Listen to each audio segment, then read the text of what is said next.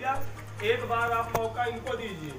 अगर ये आपके विश्वास पे खड़े नहीं उतरते हैं तो दोबारा आपके दरवाजे पे आएँगे तो मुझे वैसा ही जवाब दीजिए। बहुत बढ़िया। बस बाकी आप लोग ज़्यादा बुद्धिमान है और क्या कह बहुत बहुत बढ़िया। मंच उनका पूरे कोसाम्बे में साझा मैंने ही किया